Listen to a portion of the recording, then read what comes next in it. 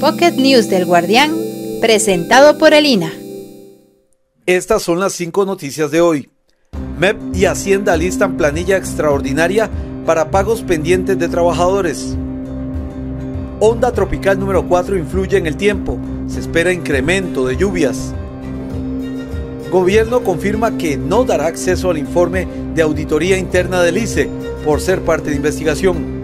Fuera de Costa Rica, trasplantan oreja impresa en 3D, hecha de células humanas. En los deportes, aficionados ticos en Qatar enfrentarán un infierno en temperaturas entre los 30 y los 44 grados. ¡Wow! Postdata.